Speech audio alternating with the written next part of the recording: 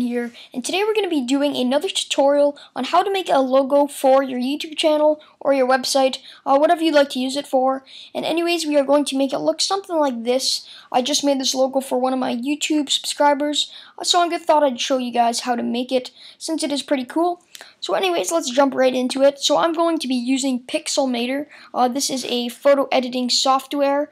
Um, it is, I believe, around $39, um, somewhere around there, might be 29 um, and pretty much it's a lot like Photoshop, but I prefer it a lot more than Photoshop. Not as advanced, but it is still a very nice application. So next, let's jump right into it. So we're going to go to File, New, and we're going to make it 250 by 250 in pixels. Then we're just going to hit OK, and we're going to have a blank document right here. Once we have done that, we are going to make a nice gradient background. So as you can see, I have this blue background. So we're going to go to the gradient tab. You can do this by double clicking on the gradient, which is right here. So double click on that, then we're going to make a new gradient. To make a new gradient, just hit on this plus sign. So we're going to click on it. Make sure this is set to linear, which is the circle right here. And we are just going to change these two colors. So you are going to want to make your colors uh, blue and dark blue. You can use any color you'd like, but for the video I'm going to be using these colors. So if you'd like to use the same colors, click on the first one and put in this number right here, 336FC6. So once you've done that, just uh, close that. Then click on your second color, and you are going to want to put in this 162D4D. And then close that. Then you're just going to hit OK, and you're good for that. Then we are going to so make sure our gradient tool is selected. You can select it by hitting G on the keyboard.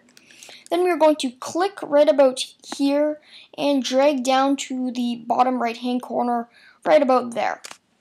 Now once we are going to, um, sorry, once we do that, we are going to add a bit of noise to it. So we're going to go to Filter, Stylize, and Noise.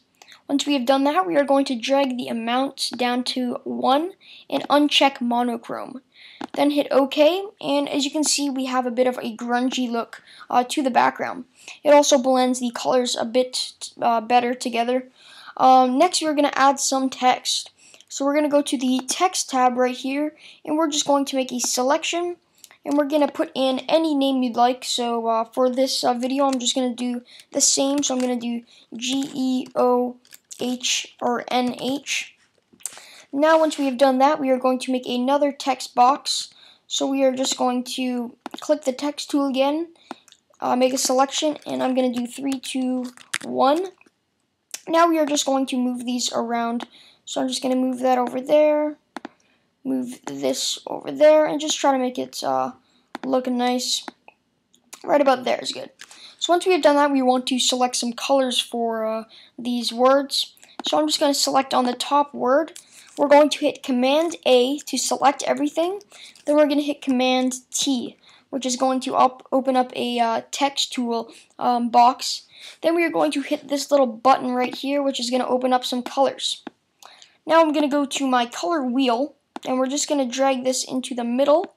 And I'm just going to select a nice darkish black gray color. Uh, we'll just have a look right here. Probably make that a bit darker, closer to black. Uh, so that's that's pretty good right there. If you're wondering what the color I'm using, 1F, 1F, 1E. So then we are going to do the same thing for the bottom number. We're going to use a different color though.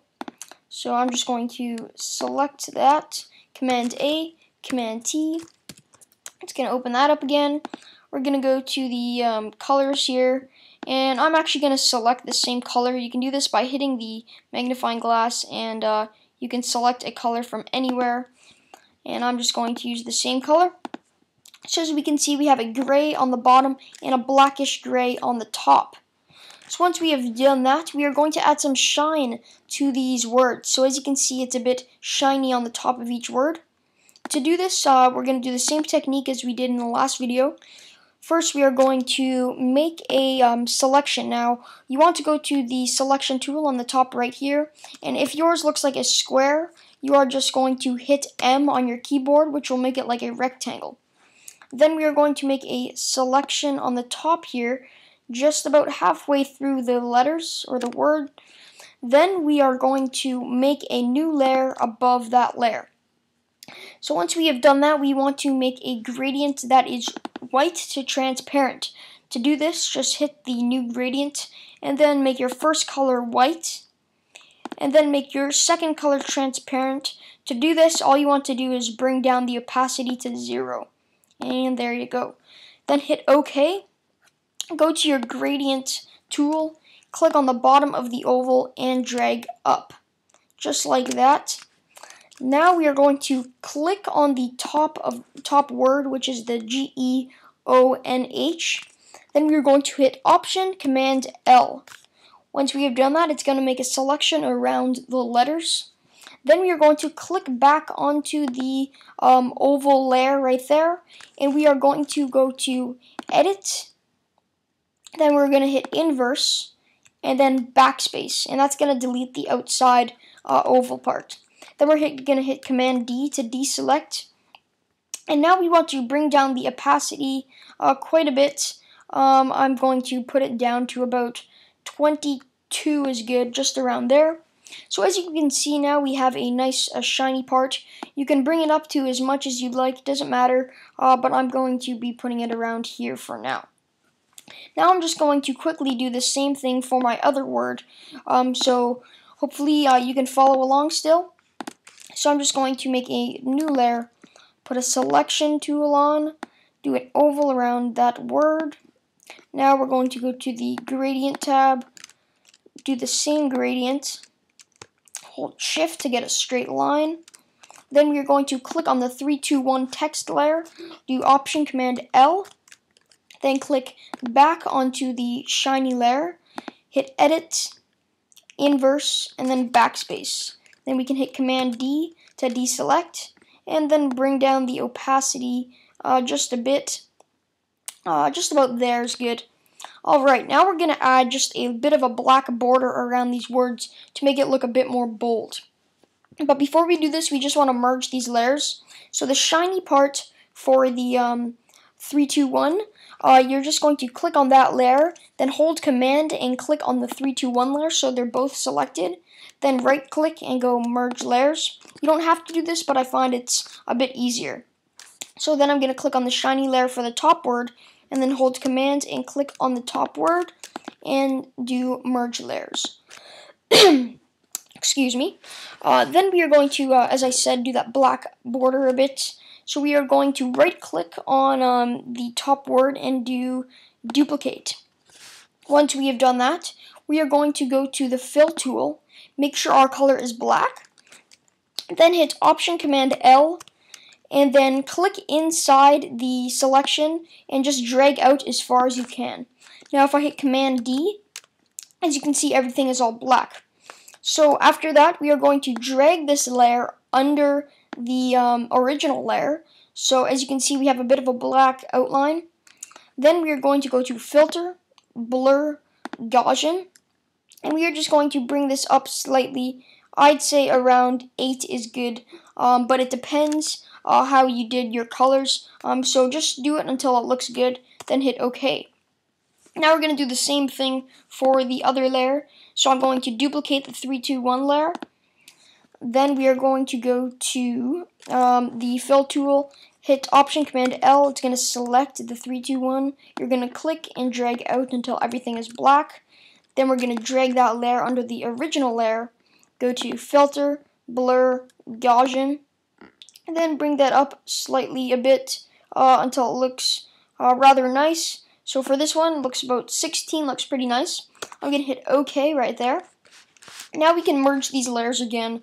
So we are going to go to uh, this layer and the original layer. Um, you can hold Shift or Command, then hit uh, right click and go merge layers. Then we're going to do the same thing for this shadow and the original layer of the top word merge layers. My throat is getting a bit dry. Uh, excuse me if I'm kind of stuttering. Um, now we're going to add this nice lens flare. Now we can add this lens flare. The link will be in the description where you can download it. Um, I believe I have it in my downloads still. Uh, we'll check here. I don't believe I do, so I'm just going to pause the video and I'll be back shortly. Alright, sorry about that guys. Um, so I got my lens flare now. I'm just going to import it into the picture. So I'm going to go to my Finder, desktop, and then locate the um, uh, wherever you saved it. Um, so the link will be in the description, so feel free to check that out uh, to add it into your photo. So I'm just going to click and drag that onto the photo, and then I'm just going to uh, close this Finder window, click on the image. Now you're going to have this big black um, thing with the lens flare. Um, to get rid of the blackness, you're just going to go to the blend, click on the lens flare um, layer, so make sure it's selected. Then go to blending and select screen. So as you can see, that got rid of all the black, and you are left over with the lens flare. Now you can just relocate this wherever you like. Um, for the photo, I have uh, just put it right over there. And as you can see, uh, very similar images uh, we have here. Now, if you don't like the blue background and you maybe want a different uh, colored background, such as a gray, you can do that. Just go to the um, first layer, which is your background. Go to the uh, gradient tool click and drag it and then you get a different color. You can do whatever color you like, um, but for the video I did blue. Um, so that's pretty much it for the video guys. I hope you enjoyed it. Please don't forget to rate, comment, subscribe, and if you are enjoying these uh, Pixelmator tutorial uh, videos, please uh, just uh, let me know in the comment section or uh, like the video. I always enjoy a nice like. So I hope you enjoyed the video guys, and I'll see you next time. Peace.